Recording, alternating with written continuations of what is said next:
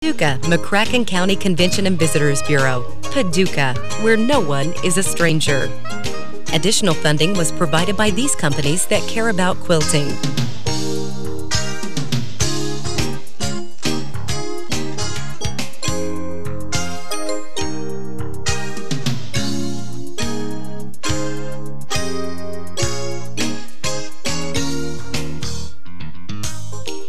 Welcome to Quilt Central, celebrating quilting in everyday living, with your hosts, Janie Donaldson and Donna Wilder.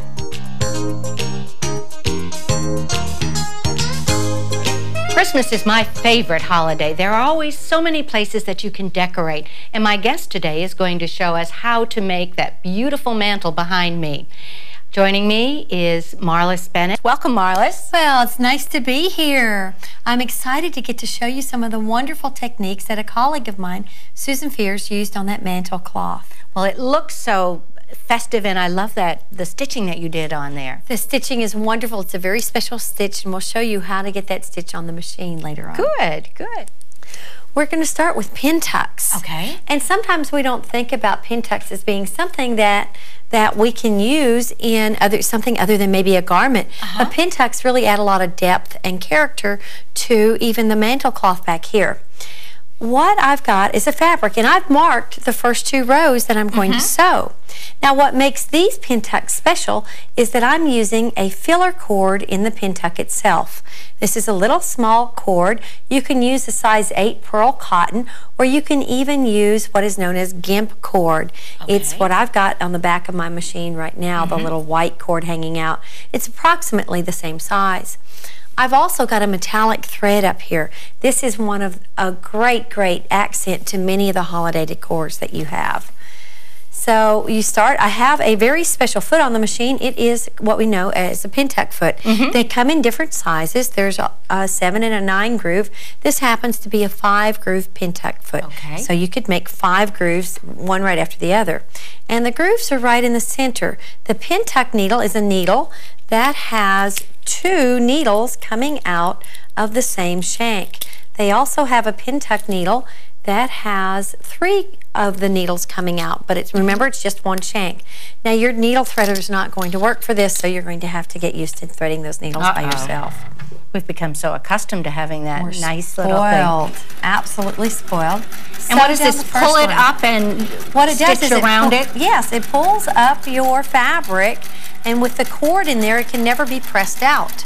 That cord is going to always keep this tuck in place above the fabric. Uh-huh. That way you can wash it, press it, do whatever you need, and it will be just fine.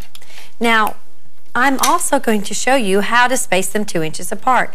I have a seam guide on my machine. Mm -hmm. I would place my oh, stitch yes. outside that seam guide and I, then I can sew the second row without having to do a whole lot of guessing where I'm going with this. Oh, that's wonderful. And it just kind of guides itself through. It does. Do one, do all of your rows in one direction, then, then do the cross rows. And then you'll come out with a piece that is looking like this one right mm -hmm. here. It has all of the gold thread, all of the pin tuck pieces, and if you'll notice, there's no stabilizer or anything behind this fabric. Do you um, how much do you figure it shrinks in when you're cutting your fabric so that you know uh, what allowance to go beyond? I always just sew until I have enough, but, you know, sew by the seat of your pants. Uh -huh. But you could probably guess with a pin tuck like this that maybe in a foot you would eat up about a quarter of an inch or so. It's not really that much. Then you have your template for the triangular mm -hmm. shapes that are on the mantle cloth and you lay, you can alternate these going down your band and cut out your diamond shapes and then you're ready with those pieces and I would create all of these first before I went on to the next part and that is creating that very very nice stippling stitch that we can see around the outside of the diamond tucks. That stipple stitch really creates a wonderful edging around the pin tucking. Yes, and it's something that you can put on your machine uh-huh. because not all machines can do a stipple stitch that's quite that wide. Oh. So if you have a computer software package that allows you to load the stitches that you want to have on your machine, uh-huh. it's in there. As a matter of fact, it's in there in two different sizes. This is much wider than what you would normally get with your normal sewing foot. And it worked perfectly because it's almost the size of the... Uh, right the little width that you're putting around. Right. Not, yeah. And that way it really looks like it's hand done. And the beauty is you never had to drop your feed dogs. Oh. So the easy way, you have to have a computer. It will load mm -hmm. into your computer.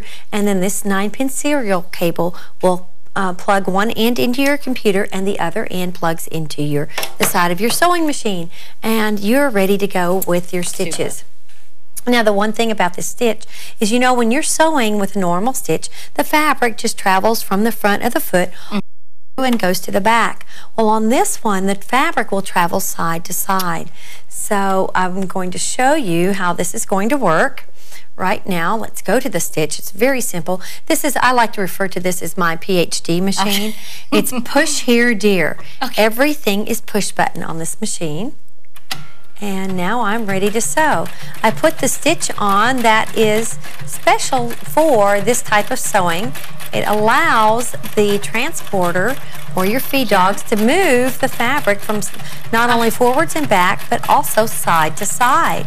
Isn't that amazing? Is this not a beautiful stitch? It is. It's a wonderful stitch to be able to use decoratively. Mm -hmm. Now, if you're going to use this on a larger piece, I'm going to recommend that you sew this maybe on the diagonal. Oh, okay, so that you can fill in much more evenly. Well, it doesn't look striped exactly. that way. It does. It won't look striped that way at all, and you can then do a lot more of this and fill in your background mm-hmm. areas. Mm -hmm. You need to create your stripes. The one thing about this, and you notice I've gotten off maybe a little bit here, is that you want to keep the edge of your fabric parallel to the edge of your foot. That's very, right. very important because that's where you can get off because you're not used to having the foot so sideways. So are you still guiding it in as it goes, even though it's moving it? I'm really not doing anything. I'm just making sure that my fabric edge is parallel okay. to the edge of the foot. Remember, you've paid for those feed dogs on your machine. Mm -hmm. You let need to let, let them do the work themselves. And you can see how beautiful that stipple stitch is as it comes out the other side of the machine. I also, a lot of times, will draw a line down the center of my fabric, as you can see back here, and that also helps me guide. It, yes. Not only centering, but it also helps me with the guiding mm-hmm. process mm -hmm. Mm -hmm. if I'm doing a larger piece. And here we have a piece that's already sewn. This then would be put onto the edge of the diamond pieces right. that we pin tucked and have cut out already and you put them together with a quarter inch uh, seam. And you already put batting behind those? Yes, it's already pre-quilted okay. this way. Yes. No need to do any further quilting as you get to this. And now it's time to put the piece together. You have to create a sandwich. We've kind of switched fabrics mm -hmm. here, but that's okay. Different holiday look. Right. Kind of like the quilt behind me. Yeah. It's a red, white, and blue holiday theme. This is the top of your mantelpiece right here. Yes. And we have our, now you have, we're all visual people as sewers. Yes. This one has already been pin tucked. Uh -huh. This is our pin tuck piece and we have the edging around the side. We layer this with a coordinating print behind and alternate mm -hmm. the all the pin tuck pieces on the front and then we have the salt or the print behind it.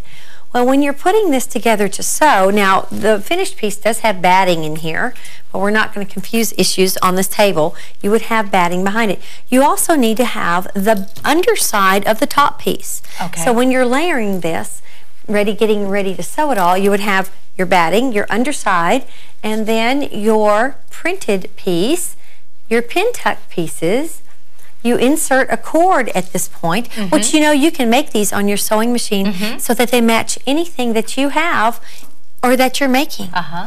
And then you put the top piece in. I like to use a very special foot. It's called a um, bulky or overlock foot, the bulky edge uh -huh. foot, and that way I can sew down a straight seam, turn it, and I have a mantelpiece ready to go. While we're looking at the mantelpiece one more time, I want to thank you for joining us today. Well, it's been my pleasure. Thank you for having me.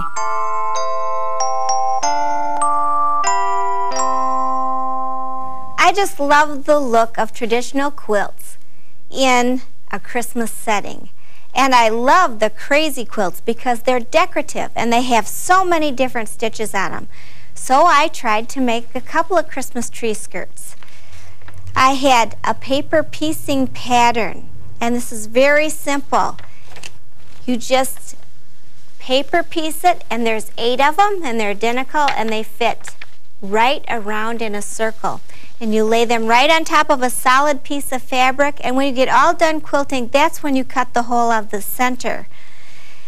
So I wanted to make it simple for myself because I don't have a whole lot of time to do quilting. So I put it on some spray basted batting and I spray basted the backing and got it all sandwiched together. And I didn't even put it in a hoop and I worked stitches like you see here. I had looked at some old antique crazy quilts and tried to be a little bit innovative about what I could do, what my abilities were, and what those old stitches looked like. I had loops and candy cane shapes. I had hearts. I tried some Christmas tree boughs. And then I had some that I just took off the old antique stitching flame stitches and feathered stitches. And my favorite was the leaf. It just seemed to fit everywhere.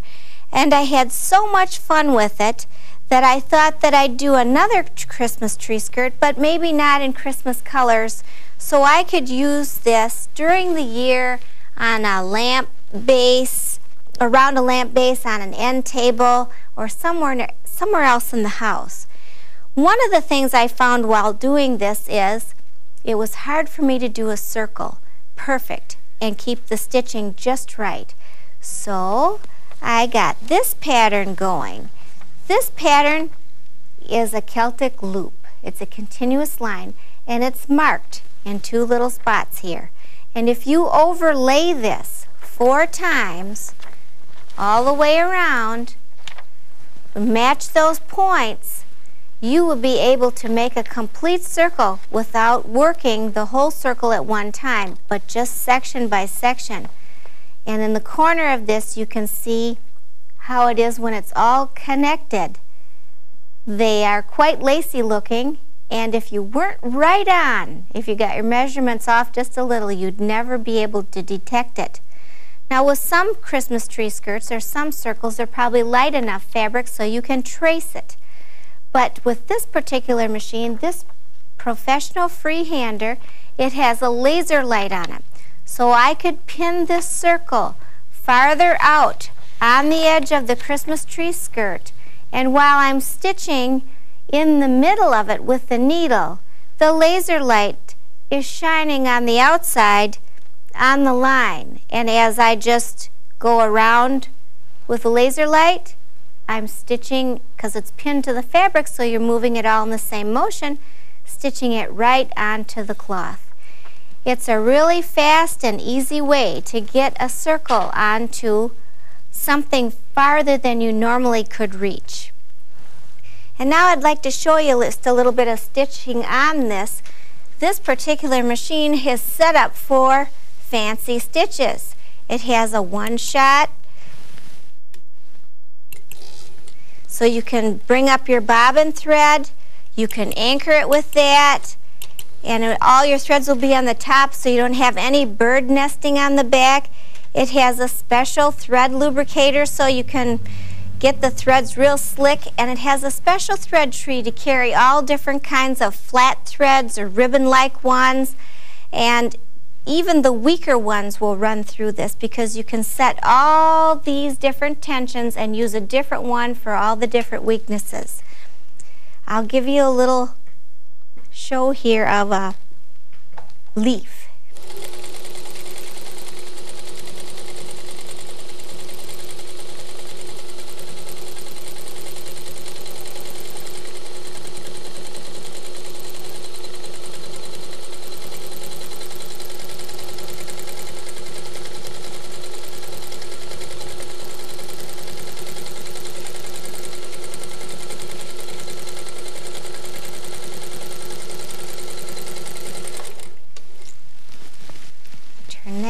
You can get a little look at it.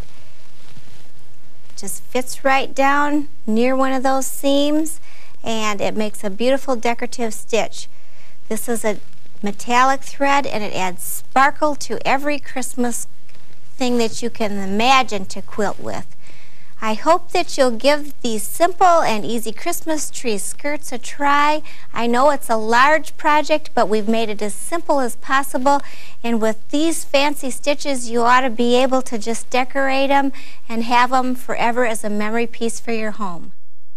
Have you ever had an occasion where you wanted to wear something special, but you didn't want to spend a lot of time making it? Well, my guest today has come up with a clever way to make a simple one-piece vest. And joining me is designer Jessie Beekman Smalley. Welcome, Jessie. Hi, Donna. Thank you.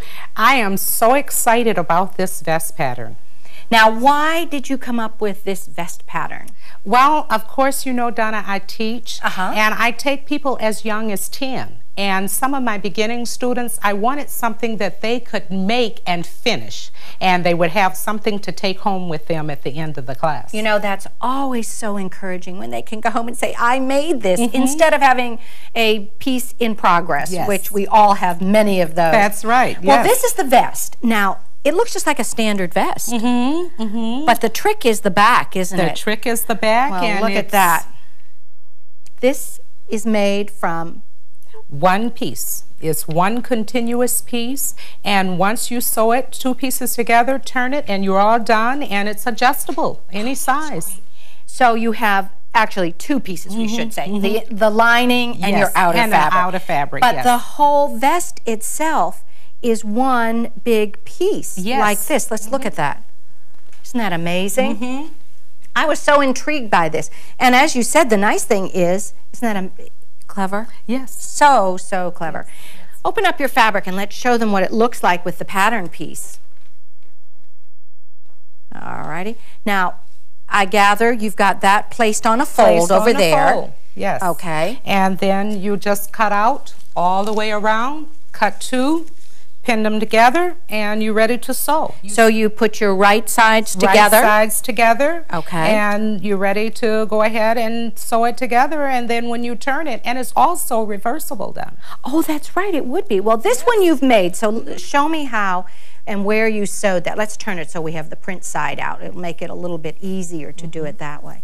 So you put the fronts and backs together. Mm -hmm.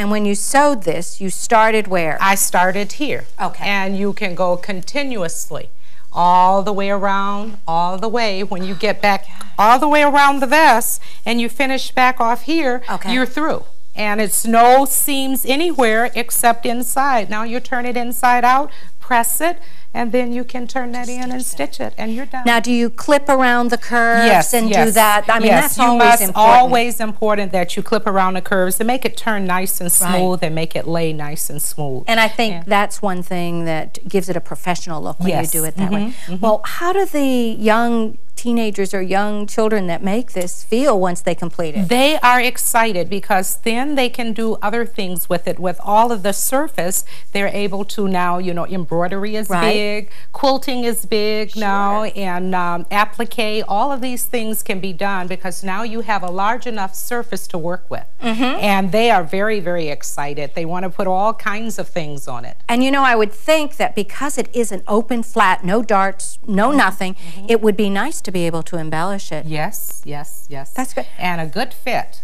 Well, one of the things you did was just to take those same little uh, Christmas snowman mm -hmm, mm -hmm. and you machine applique those on. Mm -hmm.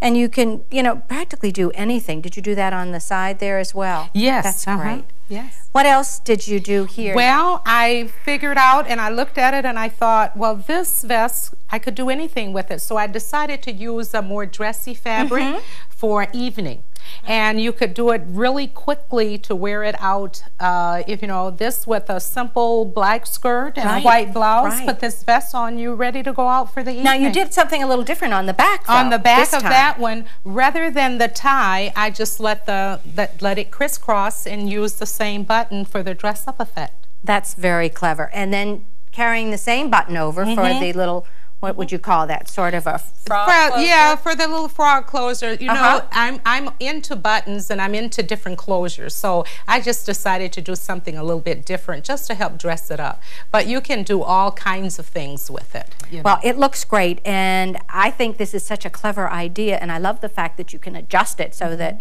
like me, up and down. Yep. It's easy me to too, do. Me so, too, yeah. Well, I want to thank you mm-hmm. for joining us today and showing us this wonderful one-piece vest. Thank you, Donna.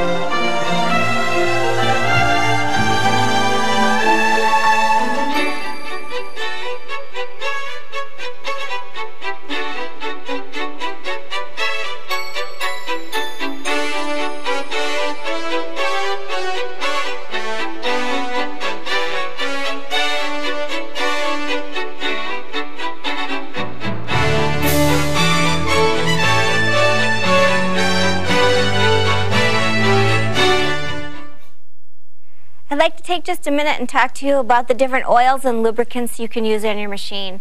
Some machines have an oil pan under them and they can have a high and a low mark and you can fill them and I always suggest that you get the clearest kind of oil that you can and very thin because we want it to wash through the machine and help keep it clean and we want to uh, not have the yellow sticky stuff and I like it if it hits the fabric at all it dissipates in about 24 hours because it is so thin and clear. Um, when you're oiling, sometimes you have to get into a little reservoir and these zoom spouts are really great because they extend out and you can get right into the little tight places and also it's good to have an oil bottle that has a hard metal spout on it because some of the machines have a little ball bearing down in the hole that's on a spring and you have to push that down out of the way to get the oil in there. We always like to use a silicone-based lube, and some people like the spray lubes. If it doesn't have the silicone base, don't use it because it may tarnish your machine. Um, the hook is probably the most important place to oil because this gets the most action, and there's a new lube out there with Teflon in it, and if you just put two drops in that case, it'll last for a long, long time.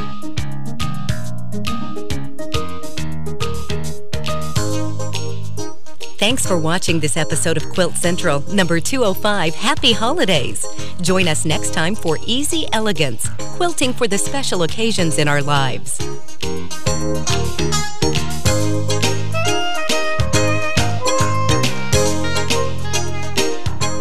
Quilt around the clock. Visit the Quilt Central website at www.quiltcentraltv.com for more information on this program.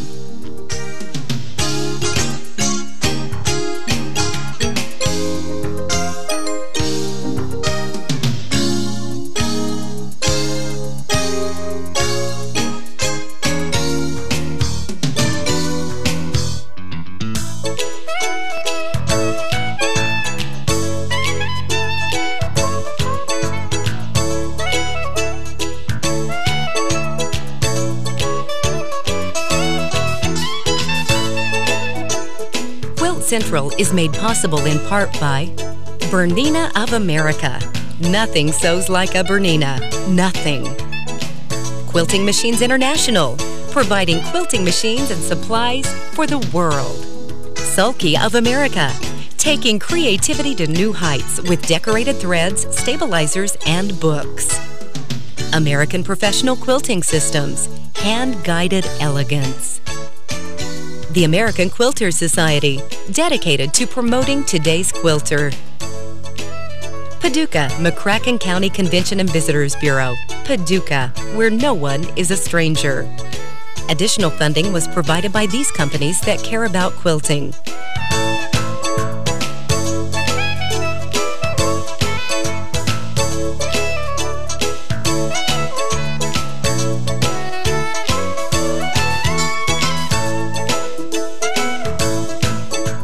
Celebrate quilting in your everyday living. To purchase videotapes of this or any episode of Quilt Central, you may call 1 866 Paducah.